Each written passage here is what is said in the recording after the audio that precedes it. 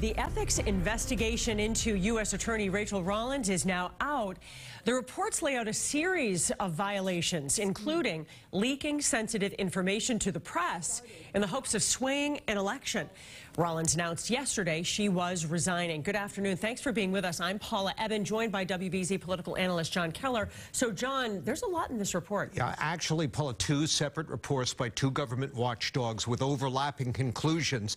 And we were speculating yesterday this must have been serious to prompt Rollins's quick uh, resignation. Boy, we now have confirmation of that. The most damning finding that Rollins illegally leaked private information about cases involving Suffolk County DA Kevin Hayden in an effort to help his primary challenger last fall, Ricardo Arroyo. Rollins then lied about her role in those leaks under oath during an interview with the Office of the Inspector General.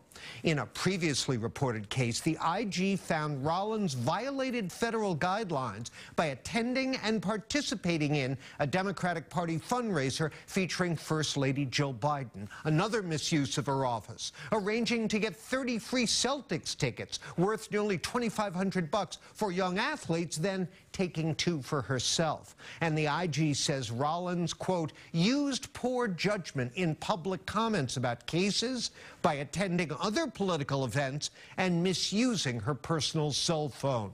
The report's conclusion, Rollins's conduct, quote, violated federal regulations, numerous DOJ DOJ policies, her ethics agreement, and applicable law, and fell far short of the standards of professionalism and judgment that the department should expect of any employee, much less a U.S. attorney, end quote serious business, Paula. As you say, Jon, it's quite a list. And we have here an experienced lawyer and politician. So how do you think she could run so far afoul of the rules? Yeah, that's, a, that's the big question, isn't it? We'll learn more about that if and when Rollins speaks publicly, of course. These types of activities, leaking to the press, playing political games, certainly not uncommon within political circles.